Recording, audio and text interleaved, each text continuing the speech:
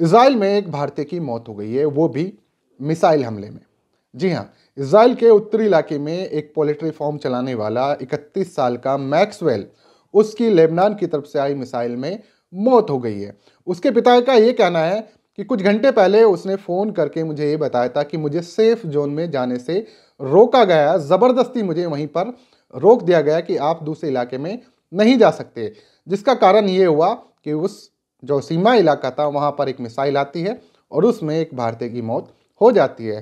पीछे वो चार साल की बेटी, अपनी पत्नी, जो कि गर्भवती है फ़िलहाल, उसे छोड़कर चला गया। उसका बड़ा भाई भी वहीं पर मौजूद है।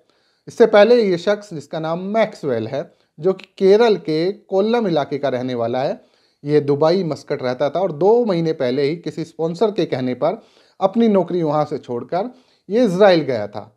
अभी उन लोगों के लिए बहुत बड़ा झटका है जो लोग फ़िलहाल इसराइल में नौकरी करने का मन बना रहे हैं और यहाँ पर कई स्टेट की गवर्नमेंट जो है उनकी मदद भी कर रहे हैं। तो ऐसे माहौल में इस खबर का आना उनके लिए चिंताजनक हो सकता है, क्योंकि वहाँ पर जो हालात जिस तरह के बन रहे हैं और जहाँ पर भारतीयों को तरह से नियुक्त किया जा रहा था, वो इलाका पूरी तरह से टेंशन में और एक भारतीय ने अपनी जान गंवा दी है। उसके पिता का सीधा सीधा आरोप है कि सोमवार को कुछ घंटे पहले ही उसने मुझे फ़ोन कर कर ये बात कही थी कि स्पॉन्सर जो है वो मुझे दूसरे इलाके में जाने नहीं दे रहा है।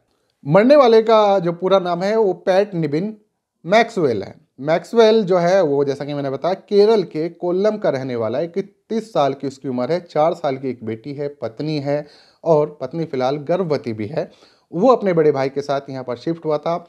बड़े भाई ने ही पिता को फ़ोन करके बताया कि सोमवार के दिन 11 बजे जो हमला हुआ दिन में, उसमें मैक्सवेल की मौत हो गई है। दो और शख्स घायल हुए हैं, जिन्हें अस्पताल में भर्ती कराया गया है, लेकिन अब जो है परिवार में पूरी तरह से मातम छा गया है। दुनिया भर के लोग समझा रहे हैं, लेकिन जाने वाला तो चला गया, उसकी जान जा चुकी है। तो दो महीने पहले ही ये शख्स इसराइल गया था नौकरी के लिए, कुछ बड़ा करने के लिए, लेकिन वहाँ पर उसे जो है ज़बरदस्ती, ये उसके पिता का आरोप है कि मैंने फ़ोन पर जब बात की है तो उन्होंने उसने कहा था कि मुझे मेरा स्पॉन्सर दूसरे इलाके में नहीं जाने दे रहा है। यह शख्स इसराइल की उत्तरी सीमा पर एक जगह है, मॉर्गलियांट, वहाँ पर ये एक पोलिट्री फॉर्म था, उसमें काम कर रहा था। अब इसकी जो डेड बॉडी है, जो शव है, उसे आने में चार दिन लगेंगे क्योंकि कागज़ी कार्रवाई चल रही है, बहुत सारी दिक्कतें हैं। वहाँ हालात जिस तरह के हैं तो वहाँ के अधिकारी ने कहा कि अभी औपचारिकता निभा रहे हैं उसके बाद ये जो शव है, ये भारत भेजा जाएगा, उसके परिजनों को सुपुर्द कर दिया जाएगा। तस्वीर में आप लोग देख सकते हैं, उसकी बच्ची, उसकी वाइफ इस तस्वीर में मौजूद हैं। एक अच्छा खासा परिवार जो है, वो उजड़ गया है। बेटा जो है, दुनिया छोड़कर जा चुका है, पीछे छोड़ गया एक चार साल की मासूम बच्ची। और एक ऐसा मासूम जब इस दुनिया में भी नहीं आया। कल को वो सवाल ज़रूर पूछेगा कि उसके पिता की मौत कैसे हुई। तो बस मैं ज़्यादा तो नहीं कहूँगा जिसकी नौकरी जहाँ करने का मन है, वो वहाँ पर करे, लेकिन उन लोगों के लिए चिंता ज़रूर है जो ऐसे माहौल में वहाँ नौकरी का मन बना रहे हैं।